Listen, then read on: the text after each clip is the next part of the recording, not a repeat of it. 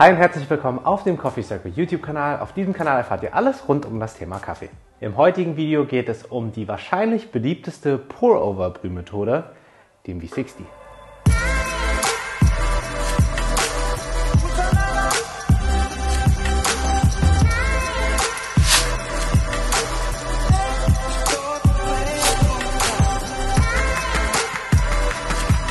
Um einen Filterkaffee mit dem V60 aufzubrühen, benötigen wir einiges an Tools. Neben dem V60 selbst benötigen wir natürlich auch frischen Kaffee. Diesen mahlen wir am besten in einer Mühle. Hier haben wir einmal die eine elektrische Mühle von Barazza. Es gibt aber auch Handmühlen äh, wie die Kommandante, die Timemore. Und wenn wir schon bei Hario-Produkten sind, gibt es auch hier die Minimal Hario Handmühle. Diese ist sehr gut geeignet für Einsteiger, da sie auch sehr günstig ist. Dann benötigen wir natürlich auch Filterpapiere für den V60 selbst, eine Karaffe zum Brühen des Kaffees oder auch eine große Tasse. Dann brauchen wir einen Wasserkocher, idealerweise mit einem Schwanenhals. Es geht aber auch ohne und dazu kommen wir dann später im Video. Außerdem benötigen wir eine Waage, dazu könnt ihr eure Küchenwaage nehmen oder hier zum Beispiel die Hario Drip Scale. Wir haben ein ausführliches Review hier oben in der rechten Ecke gemacht, könnt ihr euch gerne dazu anschauen. Falls ihr keine Feinwaage zur Hand habt, dann nehmt einfach die Küchenwaage und zum Beispiel euer Handy als Timer, denn diese Wagen hier haben äh, immer einen Timer eingebaut, was sehr praktisch ist und was auch sehr wichtig ist beim V60 Filterkaffeebrühen. Zu guter Letzt brauchen wir auch gutes Wasser. Wir empfehlen hier gefiltertes Wasser und auch hierzu haben wir ein ausführliches Video gemacht. Schaut es euch gerne in der rechten oberen Ecke an. Außerdem können wir kurz über die Kaffeemenge sprechen, denn wie ihr seht, haben wir hier zwei verschiedene Größen.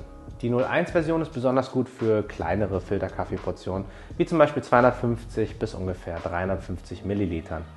Wenn ihr zum Beispiel für mehrere Leute aufbrüht, äh, Partner, Partnerin, Kollegen, Kolleginnen, dann ähm, ist die 02-Version ziemlich praktisch. Ähm, hier könnt ihr größere Portionen mit aufbrühen, bis zu 600, 650 Milliliter ist gar kein Problem. Aber nichtsdestotrotz, falls ihr die Möglichkeit haben wollt, für euch selbst, aber auch für andere zu brühen, dann ist die 02-Version eigentlich immer die bessere Wahl. Ich habe für euch zwei verschiedene Methoden zum Brühen des V60s mitgebracht. Außerdem gehen wir als letztes noch auf das Brühen mit einem regulären Wasserkocher ein. Wir verwenden 96 Grad Celsius heißes Wasser. Je heller die Röstung ist, desto heißer könnt ihr brühen. Bis zu 100 Grad Celsius ist möglich, wenn eure Röstung super hell ist. Je dunkler die Röstung ist, desto weniger heiß solltet ihr brühen. Wir benötigen 30 Gramm Kaffee. Wir mahlen den Kaffee frisch, da Kaffee nach dem Mahlen den Großteil seiner Aromen schon verliert. Danach lassen wir den Kaffee blumen und zwar mit 60 Gramm Wasser für 45 Sekunden. Dann gießen wir den ersten Schwung Wasser auf und zwar 300 Gramm.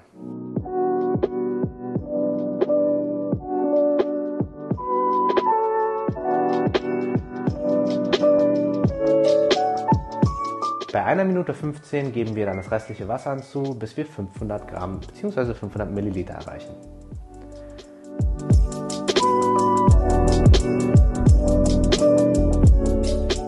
Sobald der Kaffee etwas durchgelaufen ist, könnt ihr den V60 hochheben, ihm einen kleinen Swirl geben, damit der Kaffee auch wirklich komplett extrahiert wird. Die Brühzeit dieses Rezepts sollte bei ungefähr 3,5 bis 5 Minuten liegen. Mit dieser Methode erhaltet ihr einen wirklich sehr süßen, komplexen und vollmundigen Kaffee. Die Säure ist etwas gemindert, wozu wir jetzt kommen. Bei der nächsten Methode von Tetsu Kasuya konzentrieren wir uns besonders auf die Süße, aber auch auf die fruchtigen Noten, die etwas säurelastig sein könnten. Für das Rezept benötigen wir 20 Gramm Kaffee für 300 Milliliter Wasser. Der Mahlgrad ist etwas gröber als bei dem Rezept davor. Den Kaffee lassen wir hier auch 45 Sekunden blumen und verwenden hierfür 45 Milliliter Wasser.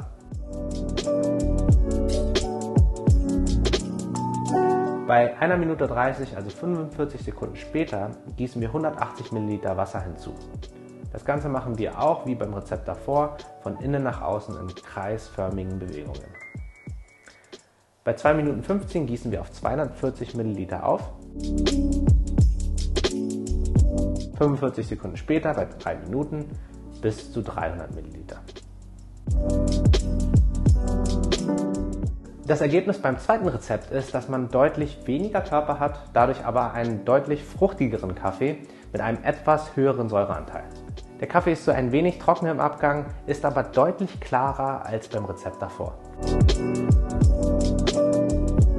Und zu guter Letzt stellen wir euch noch einmal die Version mit einem regulären Wasserkocher vor. Hierfür könnt ihr auch jegliche Rezepte nehmen. Der Unterschied ist nur, dass ihr hier nicht in kreisförmigen Bewegungen aufgießt, sondern einmal von außen nach innen geht und dann in der Mitte bleibt. Das Ergebnis wird euch auf jeden Fall nicht enttäuschen. Dennoch könnt ihr natürlich nicht kleine Feinheiten justieren, wie mit solch einem Schwanenhalswasserkocher. Alles in allem ist der V60 eine tolle Filterkaffee-Brühmethode. Im Alltag entschleunigt man ein wenig und das ist Teil der Routine, einfach mal sich Zeit zu nehmen und einen V60 Filterkaffee aufzubrühen. Sofern ihr die richtigen Tools zur Hand habt, können wir den V60 auf jeden Fall wärmstens empfehlen. Für alle, die etwas mehr auf Design stehen, empfehlen wir natürlich die Keramikversion. Wenn ihr so seid wie ich und äh, euch fällt des Öfteren mal etwas herunter, dann empfehle ich euch auf jeden Fall die Plastikversion. Wenn euch das heutige Video gefallen hat, dann lasst uns gerne ein Like da.